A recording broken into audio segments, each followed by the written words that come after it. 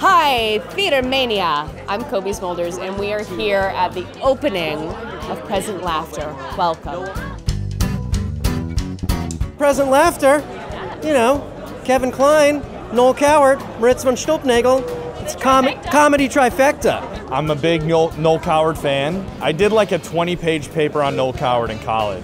Anytime you get to see a play like this, it's like going back to school in a sense that you're like, oh, this is what playwriting is supposed to be like. So it's gonna be. I'm. That's what I'm most excited for.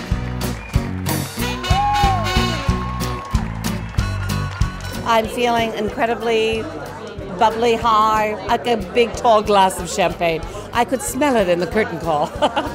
My brain doesn't work. I'm still reeling from the night. I feel like I'm in like a, a comic gladiator battle royale. It's really great that we have such an amazing cast that are so talented but are also so supportive of each other.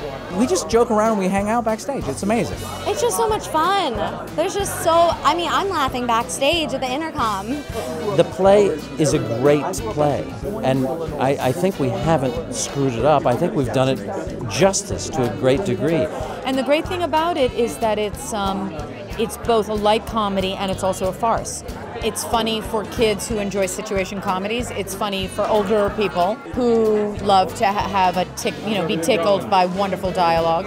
If you're looking for a transporting, escapist evening that just is so delightful, it is Present Laughter. I mean, it's in the title, right? I mean, and so we've been just having a joy putting it together, and I think anybody who comes to see it is going to equally have a great time.